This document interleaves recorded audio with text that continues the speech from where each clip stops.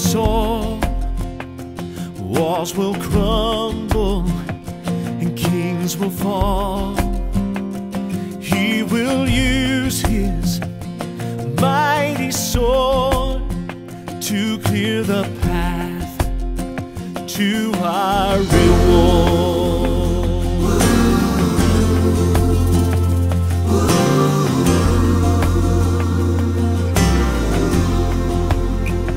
His word is written to bring us life through all our struggles and all our strife.